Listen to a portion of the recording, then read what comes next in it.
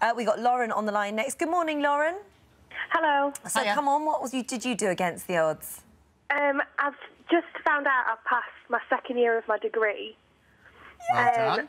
but I only I, I only attended three months worth of lectures and I was housebound for over seven. Oh, Oh why? no, why?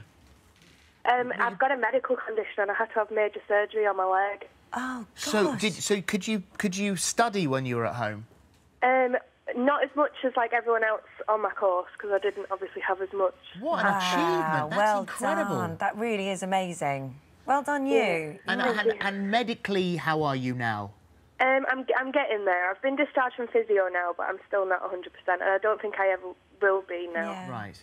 Well, listen, congratulations on that amazing result. That's terrific. You must Amazing be so proud of yourself.